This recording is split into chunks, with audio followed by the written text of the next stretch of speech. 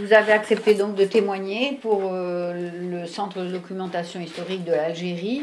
Mon père s'appelait Albert et ma mère était née Rif, R-Y-F. Alors, euh, mon père, effectivement, il a fait des études supérieures. Il a été diplômé super-héros en la promotion 1935 à Cannes. Et ensuite, ils se sont mariés à Alger.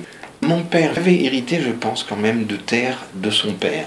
Et mon père, du moins, était agriculteur toute sa vie. On avait une maison qui était un petit peu à la limite du quartier arabe de Sétif. Je suis resté dans cette maison et dans cette ville jusqu'à l'âge de 17 ans ou 18 ans. C'était 1962, donc voilà, ça s'est mal passé après et euh, il nous a fallu rentrer en France. Alors on a eu quand même un événement majeur un petit peu avant, c'est que mon père avait été enlevé, je pense qu'il a dû être enlevé en février 1961 en fait. Hein. Donc tout agriculteur qu'il était, il est parti un matin, sa voiture, son chien, il s'est fait arrêter 6 ou 7 kilomètres euh, de la maison, je pense. Et puis voilà, on l'a plus retrouvé. On l'a plus retrouvé depuis. Ça s'est passé comme ça, mais il s'est passé des tas de choses entre les deux. Vous aviez 16 ans Alors, je suis parti avec mes gardes mobiles dans un camion pour essayer de le retrouver. Vous savez très bien qu'il faut tout de suite aller euh, sur le. Et vous l'avez su tout de suite qu'il avait été enlevé? Oui, oui, oui, parce qu'à midi, il n'était pas rentré, comme d'habitude, il partait tôt. Euh, donc avec le garde mobile, je suis allé sur les fermes pour savoir si on trouvait, pour interroger les gens. Bon, évidemment, on n'a jamais rien su, mais je connaissais les coins où il allait, puisque je travaillais beaucoup avec lui. Enfin, j'étais souvent avec lui, surtout, vous savez, au temps des moissons, parce que les temps des moissons, on avait quand même besoin de beaucoup de main-d'œuvre. Alors, c'est moi qui suis allé. Ensuite, euh, ma mère était un petit peu désespérée, bien qu'elle ait jamais pleuré de sa vie, mais elle, a quand même, elle avait quand même trois enfants à charge, même si mon, mon frère était assez grand. Alors, après, oui, est arrivée la demande de rançon. J'ai également des papiers, vous savez, officiels de là, comment ça s'appelait, une vilaya, je pense, autour oui, oui. Donc, déjà des papiers avec des tampons.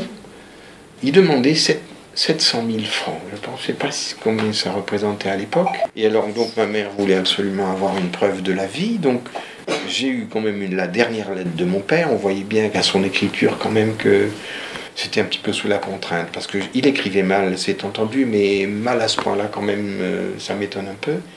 Donc, j'ai un petit papier où il dit que tout va bien. Enfin, vous verrez un petit peu la lecture de ce papier-là. Oui, l'original. Et donc j'ai la demande de rançon aussi. Donc je pense que ma mère a tergiversé, elle n'a pas voulu payer tout de suite, elle a demandé une preuve de vie. Bon, elle l'a eu. Après, on avait voulu avoir des contacts avec des gens de la ville, je ne sais quoi. Comme par hasard, la personne à qui on s'adressait n'avait pas confiance dans le mandataire qu'on avait, qui je me rappelle que c'était M. Chapuis. Donc ça s'est un peu mal passé, et puis tout s'est arrêté un petit peu là, et puis on l'a jamais revu. Et puis on est, on est tous rentrés deux choses que je vous ai pas, racontées au niveau de mon père, c'est que on a retrouvé sa voiture, il avait un chien aussi, on a retrouvé sa voiture dans une ferme, qui était la ferme, je pense, au Duro, je pense, dans un hangar, avec un phare qui était abîmé, c'était une 403 verte, et il avait un chien qu'il adorait, qui s'appelait Mick, je me rappelle. Donc voilà, il avait tué son chien. On avait retrouvé le canard du chien. Ils ont dû l'arrêter sur la route ils l'ont amené dans une, la première euh, ferme qu'ils ont trouvée sur leur droite, je pense, le long du Bousselam. Finalement, on l'a pu retrouver du tout. Alors il avait fait aussi, fait un espèce de testament à l'usage de ma mère pour s'occuper de toute les, la partie administrative, la façon de gérer les, choses, la façon de euh, lui donner des conseils. On avait une espèce de papier qui était, qui était tapé à la machine. Alors on a continué, euh, on a cherché des traces, on a demandé à la Croix-Rouge, vous savez comme ça se faisait, pour savoir si on l'avait retrouvé, mais bien longtemps après. Et puis, cette histoire de mur des disparus, donc on a obtenu le statut puisqu'on n'avait rien retrouvé. Et puis après, quelqu'un m'a donné finalement un petit peu la généalogie de la famille, surtout du côté RIF.